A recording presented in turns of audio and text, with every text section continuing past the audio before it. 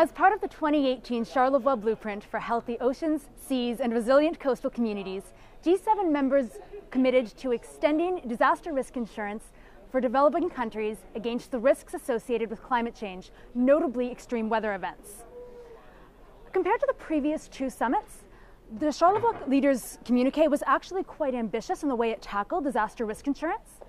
G7 members committed to both extending climate insurance, but also to developing new insurance products, and they vowed to do this through both global and regional facilities.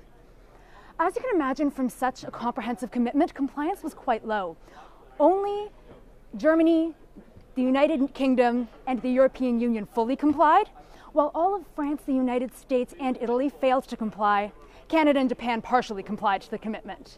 However, we hope that enough time has now passed, that enough countries have been able to develop their own new insurance initiatives, and we hope Biarritz can develop, uh, can further the conversation enough to prompt action.